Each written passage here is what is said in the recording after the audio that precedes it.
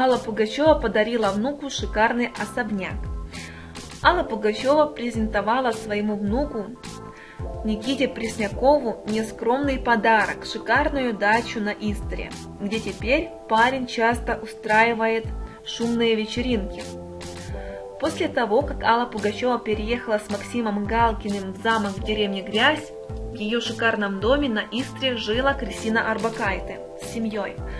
Однако в последнее время на даче можно увидеть внука Аллы Борисовны, Никиту Преснякова. Оказывается, шикарный дом достался молодому музыканту в подарок от звездной бабушки. Я уже давно там не живу, так что пусть там теперь все восстанавливает Никита, рассказала Алла Пугачева.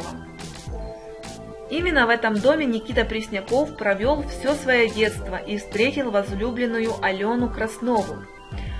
Дом родителей девушки находится по соседству.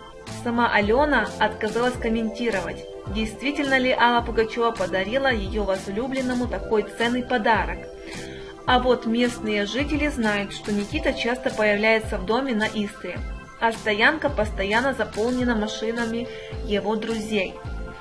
Никита постоянно здесь, и куча машин, стоянка вся забита, рассказал один из жителей Малых Бережков журналиста.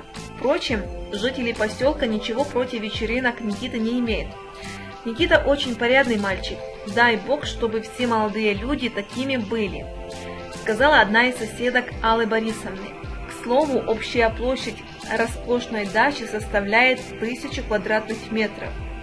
В доме просторные комнаты, огромный каминный зал, несколько спален, гостевые комнаты, баня, джакузи, спортзал, выход к частному пляжу и небольшая пристань для яхт.